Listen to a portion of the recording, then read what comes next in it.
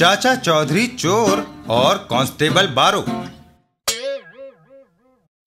एक दिन रास्ते में साबू एक चोर भाग गया है। क्या इस शक्ल का आदमी तुमने इधर कहीं देखा है? नहीं कांस्टेबल बारो।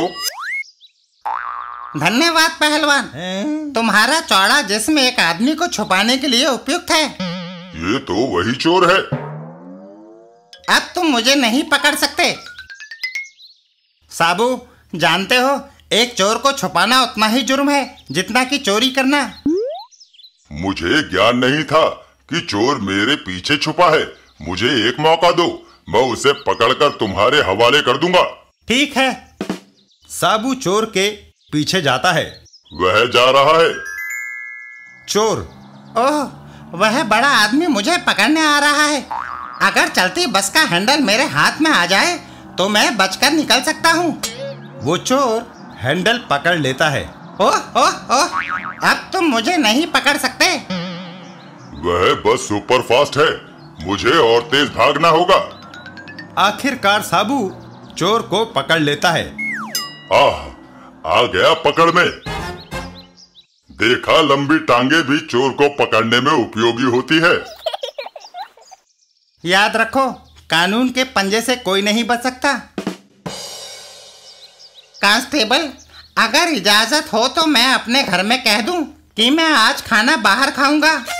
अगर तुम फिर रफू चक्कर हो गए तो? नहीं, तुम दरवाजे पर पहरा देते रहो। कांस्टेबल, दरवाजे पे खड़ा हो जाता है। अच्छा जाओ, जल्दी लौटना। तभी चाचा चौधरी वहाँ आते हैं।